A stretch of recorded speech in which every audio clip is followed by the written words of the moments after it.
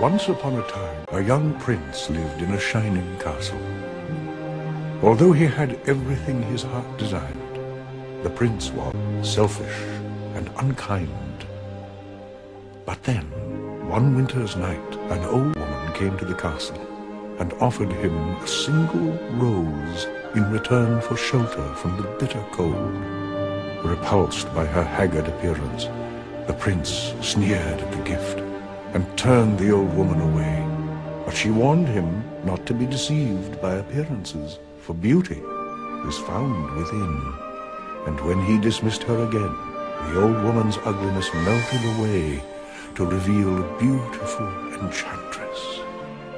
The prince tried to apologize, but it was too late, for she had seen that there was no love in his heart, and as punishment she transformed him into a hideous beast and placed a powerful spell on the castle and all who lived there. The rose she had offered was truly an enchanted rose.